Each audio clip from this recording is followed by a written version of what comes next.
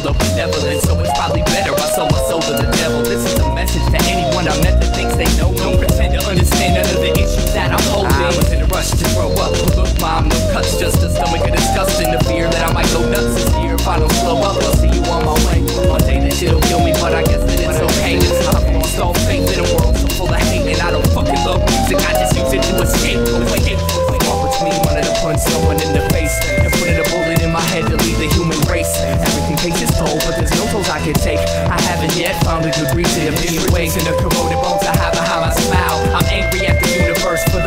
reach me now It keeps me down. Stealing all my energy, feeling like my enemy, concealing my identity, not dealing with my tendencies. I feel the skin and then I squeeze a rhythm.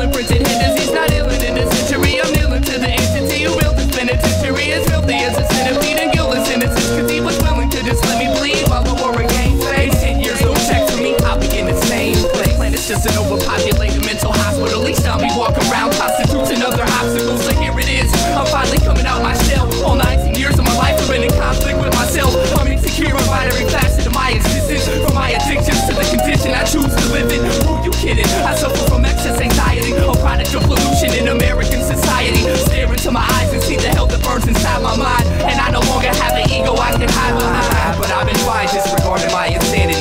Every form of art isolates me from humanity, but it's revolt against being forced that so-called education for a decade.